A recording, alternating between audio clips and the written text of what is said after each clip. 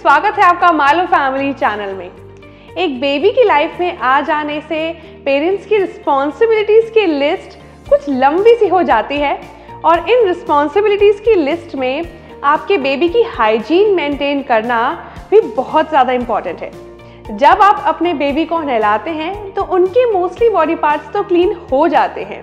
लेकिन एक ऐसा बॉडी पार्ट है जो स्पेशल अटेंशन माँगता है, कान।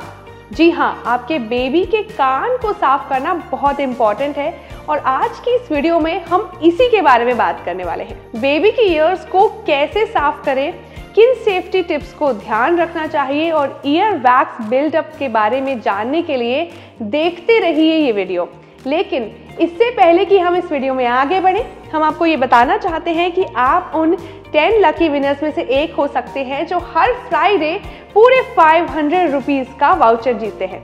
आपको बस इस वीडियो को अंत तक देखना है और उस शब्द को कमेंट सेक्शन में मेंशन करना है जो आपको इस वीडियो में मिलता है। वाउचर को रिडीम करने के लिए डिस्क्रिप्शन में दिए गए लिंक पर क्लिक करें और माइलो ऐप को डाउनलोड करें।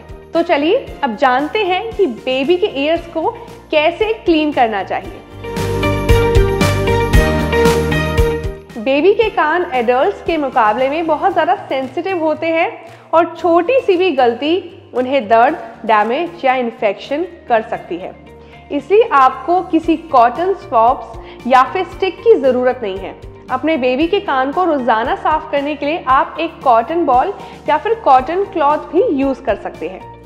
सबसे पहले वॉश क्लॉथ या कॉटन बॉल को गुनगुने पानी में गीला कर लें। यूज़ करने से पहले एक्सेस पानी को निचोड़ लें।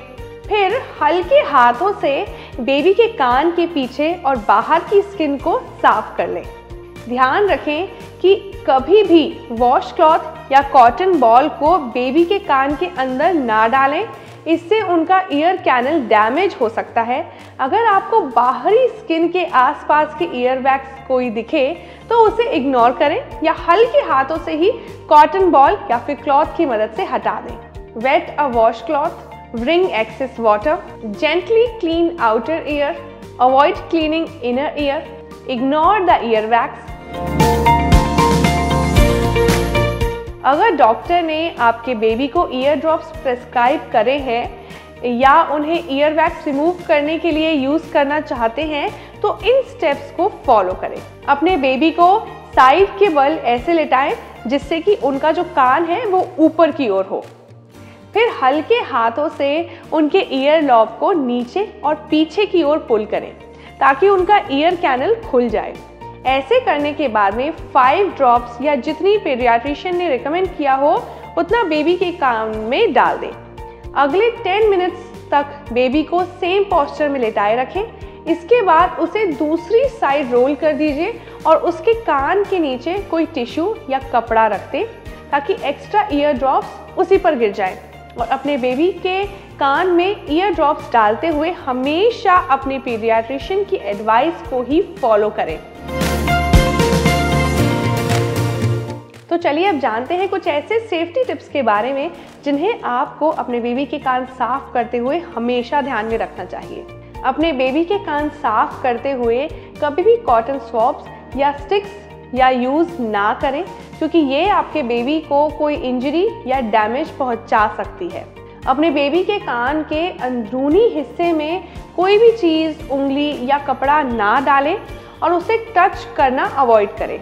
अगर बेबी के कान के अंदरूनी हिस्से में आपको कोई ईयर वैक्स दिखे तो उसे हटाने की ज़रूरत बिल्कुल भी नहीं है, क्योंकि ये आपके बेबी के लिए हेल्दी है। ये ईयर वैक्स प्रोटेक्शन और लुब्रिकेशन का काम करती है और इसमें एंटीबैक्टीरियल प्रॉपर्टीज़ भी होती है। इसे हटाने से आपके बेबी के कान में कोई डैमेज भी हो सकता है। अगर आपको ऐसा लगे कि आपके बेबी के कानों में ईयर वैक्स का बिल्डअप हो रहा है या बढ़ता जा रहा है तो भी तुरंत किसी ईयर स्पेशलिस्ट या फिर पेडियाट्रिशियन से ही कंसल्ट करें। अगर आपका बेबी बार बार अपने कान को हाथ लगाए या फिर पुल करे तो हो सकता है कि वो किसी पेन में हो या फिर उसे कोई ईयर इन्फेक्शन परेशान कर रही हो। तो ऐसे में आपको डॉक्टर या फिर पीडियाट्रिशियन से कंसल्ट करना चाहिए। Never use cotton swabs don't insert anything in babies inner ear don't remove the ear wax consult doctor for ear wax buildup consult doctor for pain और इन्फेक्शन याद रखें बेबी के कानों को रोज़ाना साफ़ करना बहुत ज़रूरी है और ये आप उन्हें नहलाते हुए भी कर सकते हैं। तो आज के इस वीडियो में बस इतना ही। ऐसे ही और हेल्पफुल टिप्स और अपने बेबी से रिलेटेड महत्वपूर्ण जानकारी और प्रोडक्ट्स पाने के लिए माइलो ऐप या माइलो वेबसाइट को ज़रूर विज़िट करें। अपनी पेरेंटिंग जर्नी को आसान बनाने के लिए आप माइलो मॉम्स की सुपर हेल्पफुल कम्युनिटी से भी जुड़ सकते हैं। उम्मीद है कि आपको ये वीडियो ज़रूर पसंद आया होगा। अगर आपको ये वीडियो यूज़फुल लगता है तो प्लीज़ इस वीडियो को लाइक करना ना भूलें और कमेंट करके हमें अपने विचार ज़रूर बताएँ। अपने फ्रेंड्स एंड फैमिली के साथ भी इस इंपॉर्टेंट इन्फॉर्मेशन को ज़रूर शेयर करें। साथ ही सब्सक्राइब बटन पर क्लिक करें और बेल आइकन को प्रेस करें, ताकि आपको समय समय पर सारी नोटिफिकेशंस मिलती रहे। Thank you for watching